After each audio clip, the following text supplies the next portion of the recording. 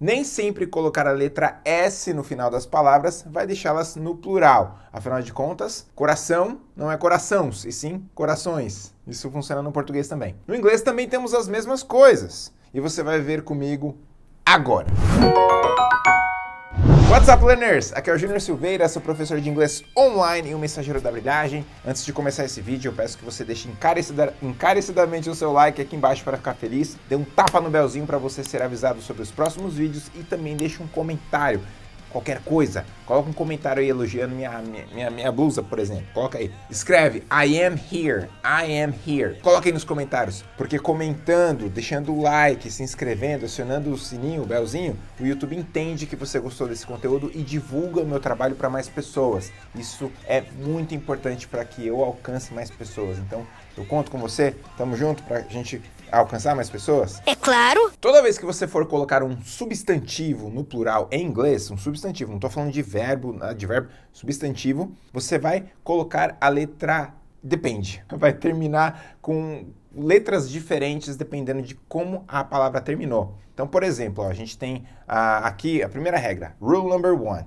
Se você tem um adjetivo que termina com a letra F, letra F, ou com a letra FE, FE, né? O que, que você vai fazer? Você vai capar, você vai cortar essa letter F ou a letter FE e vai acrescentar VES, vis. For example, knife, que é faca, plural de faca é facas, é, no português, mas no inglês é knives, knives. Então, knife, olha lá, terminou com FE, corta o FI, knives, acrescenta o VES. Eu lembro até aquela propaganda do Guinso 2000. Lembra daquela faca Guinso 2000? Lembra? E tinha aquela meia vivarina, eu acho que passava guinso na vivarina, a vivarina não cortava, ou sei lá. Enfim, anos 90, né? Roots. A palavra life, que é vida, life, no, quando colocada no plural, você tira o F e o E. Olha lá, terminou com FI, né?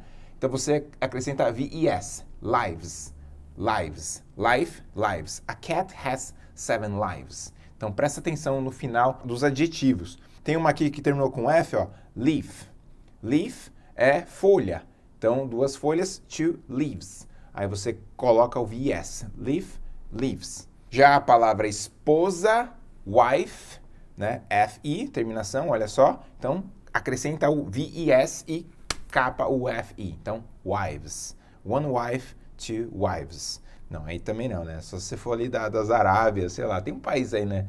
O pessoal, religião, cultura, o pessoal tem seven wives, ten wives. Tá doido, não, não aguentaria tudo isso não. A pessoa tanto de, de mulher no, no, sem condições, sem condições. É claro que toda sua regra tem exceção, né? Não a sua, mas a regra tem exceção. Então, por exemplo, roof, que é telhado, Aí você deve estar tá pensando assim, ó, pô, terminou com F ali, ó, então vou capar a letra F, igual o Teacher Junior falou, vou colocar I, é, e S, então vai ficar roofs, né? Não, meus queridos learners, dessa forma não é assim, tá? Aí vai ficar, ficar um pouco diferente. Então, roof, roofs.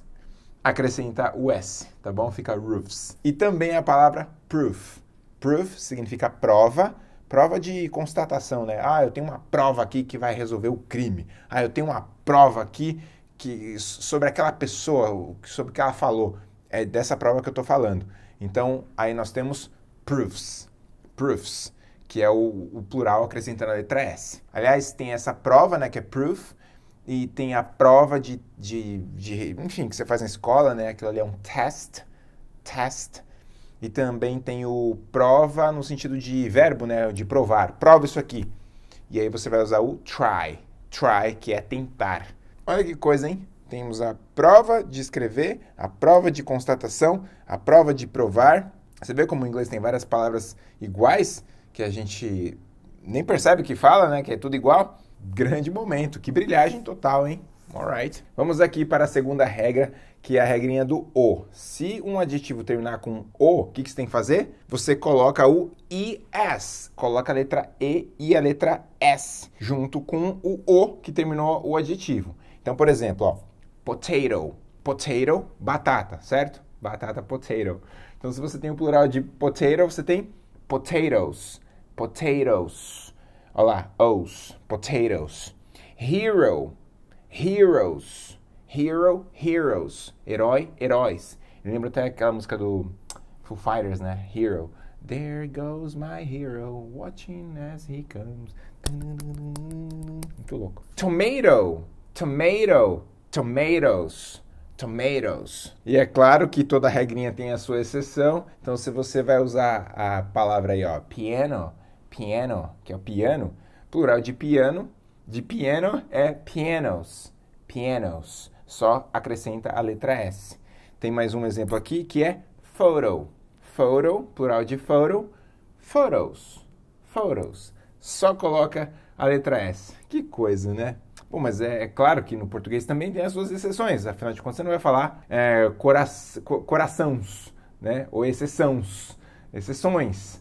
Né? Uh, você também não vai falar. Ah, enfim, é aula de inglês, não é de português. Ué, que grosseria é essa? Eu tô ouvindo você falar com todo respeito. Vamos agora para a terceira regra. Se, se você está gostando desse vídeo, pô, deixa o like para ficar feliz. Deixa esse like aí para ajudar a gente. E deixa um comentário aqui embaixo, um joinha, alguma coisa assim porque o YouTube ajuda a entregar o meu trabalho para mais pessoas. Então, se você está curtindo, deixa o like para ficar feliz. Vamos para rule number 3. A regrinha número 3 é a seguinte: diz que os substantivos que terminarem com com nada não é de terminação agora, é porque tem substantivos que têm duas vogais juntas e que elas podem ser alteradas drasticamente. Então, se você tem aqui, por exemplo, a palavra pé, que é foot, foot, olha só, F-O-O-T, foot. O plural de foot vai ser feet, feet. Um pé, one foot. Dois pés, two feet. Completamente diferente, né? Trocou os dois, os dois os uh, por dois es. Foot, feet. Tem mais exemplos, ó. Tooth, tooth, dente, né? One tooth. Two teeth. Uh, a man has 32 teeth. Né? Um homem tem 32 dentes. Eu acho que é 32, se conciso. Né, Flash? O que, que você acha? É. Bom, a não ser que ele tome uma porrada, né, do, do, do Popó e fica, fica 31, né? Nós vai entrar na porrada, não vou alegar pra tu não, hein? Man, homem. Plural de man, man. Man, man. Você viu que trocou a letra A por E, certo? Então, one man, two, three, four, five, man né? Mais né? Mais nasal, né? Uma coisa meio parece um, um berro, um bode, né? Man, man. Woman, que é mulher, e aí o plural de mulher é women. Women. É isso aí. Woman, women. Rule number four, temos aqui os irregular plural. Os plurais irregulares. Como assim plurais irregulares? É porque a palavra muda completamente, não tem nenhuma pista do que possa ser. Então, se você tem a palavra mouse, mouse. Camundongo, mouse. O plural de mouse não é mouses. Não, não, não. É mais. Mais. Completamente diferente, certo? Olha lá, mais.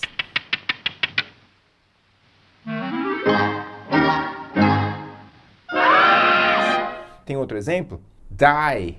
Die. Ah, cuidado, hein? Porque além de ser o verbo uh, morrer, die também significa dado dado, aquele negócio que você joga, né, tem uns seis números, aquilo ali é um die. Então, quando você tem dice, dice, você tem dados, né, os dados dos, dos quadradinhos, né. One die, two dice. E, aliás, é, dados, quando você se refere a informação, é data, data. Cuidado para não confundir isso aí, tá? Você vê que no português é a mesma coisa, né? Dado, ah, eu tenho um dado aqui importante para te falar. Ah, vamos jogar um dado? Eu tenho dois dados aqui sobre essa pessoa. Vamos jogar os dados? O português também tem as suas confusões, né? Imagina um gringo ap aprendendo isso. Saber que dado de informação é a mesma coisa que dado de jogar. Person, person, pessoa. E o plural de person, people. People. One person, two, three, four, five, people. Né? Uma pessoa, duas pessoas. Vocês anotaram aí essas regrinhas, ok? Tem as exceções também, certo? Mas também tem palavras que não mudam, que elas não vão para o plural. É isso mesmo, elas vão ficar do jeito que é, no singular e no plural. É igual a palavra lápis, né, no português. Você tem um lápis, dois lápis, três lápis. Você não fala lápises ou lápis, né? Ônibus é a mesma coisa, ônibus não tem plural. É um, um ônibus, dois ônibus, três ônibus e assim vai, certo? No inglês também tem essas coisas. Então você tem aí shrimp. Shrimp, camarão. Então shrimp continua a mesma coisa no singular ou no plural. Você tem também sheep, sheep, que é ovelha, né? Sheep. Também não muda, é singular e plural da mesma forma. Também temos aí swine, swine. Swine significa porca, né? Porca mesmo. O Flash vai colocar aqui, ó, porquinha, tá? Ó, swine. E também temos uh, um exemplo aqui de fish. Fish. Fish é peixe. O plural de peixe, né? Dois peixes é fish também, não vai mudar. Então, one fish, two fish. Agora, a palavra fishes existe. Só que fishes não é referente a dois peixes iguais, e sim a um grupo de peixes com espécies diferentes, tipos de peixes diferentes. Então, se você tem aqui um, uma carpa e você tem um pacu, carpa e pacu são dois fishes, porque são dois tipos de peixes diferentes, né? Two fishes. Agora, se você tem duas carpas, você tem two fish. Se você tem dois pacus, você tem two fish, tá bom? Agora, por que eu tô rindo? Eu não sei. não sei.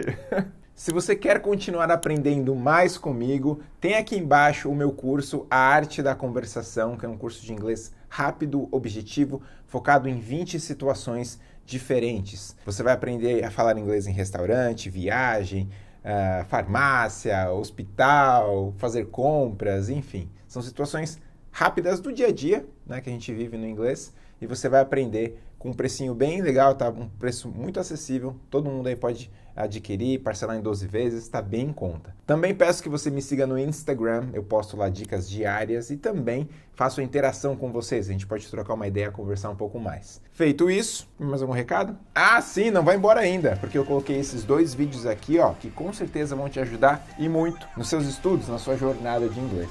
Então, depois que você clicou em todos os links aqui na descrição, tá na hora de, de clicar nos dois links, nos dois vídeos aqui.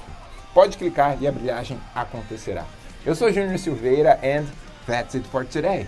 Thank you so much guys for watching e lembrem-se todos vocês. Lembrem-se! See you around.